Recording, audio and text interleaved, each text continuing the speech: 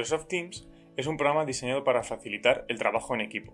De esta forma, ayuda a los miembros de diferentes equipos de trabajo a gestionar y colaborar en su labor profesional. Para ello, cuenta con diferentes funciones como el chat y los canales, que harán del trabajo en equipo algo más sencillo, pudiendo gestionar archivos, generar documentos y editarlos de forma simultánea y comunicarnos en tiempo real.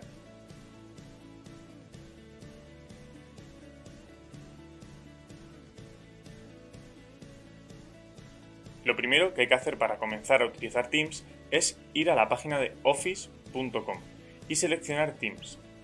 Ahora tenemos que iniciar sesión con nuestra cuenta de Office 365 profesional o educativa. Ya estamos dentro de Teams. Vamos a ver qué nos ofrece. En primer lugar, podemos ver un menú lateral en el lado izquierdo.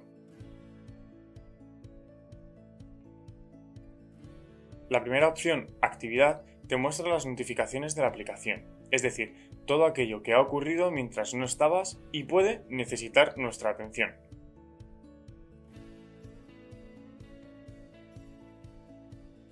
Lo siguiente son los chats. Nada más acceder a esta sección, aparecen los que tenemos abiertos con personas de nuestra organización. Estas conversaciones pueden ser individuales o grupales.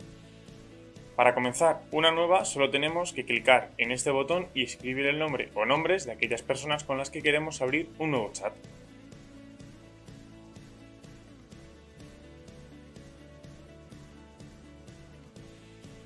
A continuación están los equipos. Aquí aparecen los equipos de los que formamos parte y dentro de ellos todo el contenido que generamos. De esta manera tenemos nuestro proyecto mucho mejor organizado.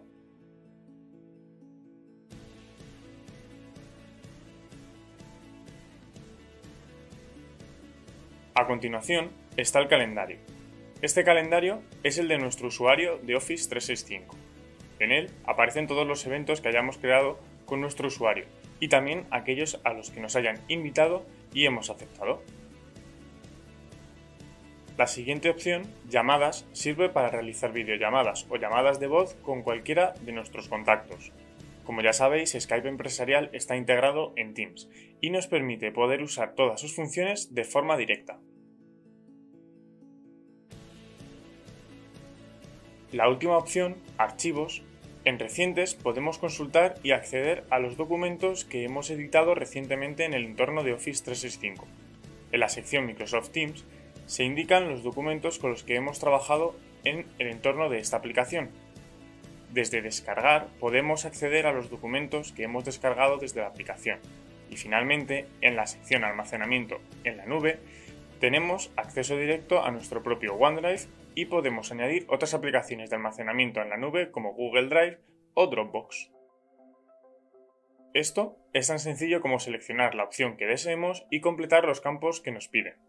Necesitaremos loguearnos la primera vez y ya tendremos el espacio operativo. Por último, desde los tres puntos podemos acceder a estas aplicaciones de Office 365 sin salir de Teams.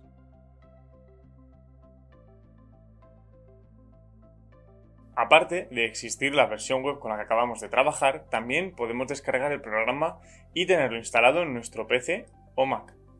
También está disponible en formato app gratuito para Android, iPhone y iPad, siendo las versiones móviles algo más simples pero igualmente muy útiles para mantenernos conectados.